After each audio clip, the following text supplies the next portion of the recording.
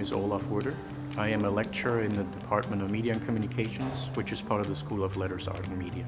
I am responsible for four units in the program, uh, those being health communication, uh, media relations, which we call dealing with the media, organizational communication, as well as PR management. My research is primarily in health communication, specifically in the field of community-based participatory research, so to get people involved in finding solutions for health behavior maintenance, uh, as well as analyzing social marketing, its value today after it came on the scene with quite some uh, hurrah.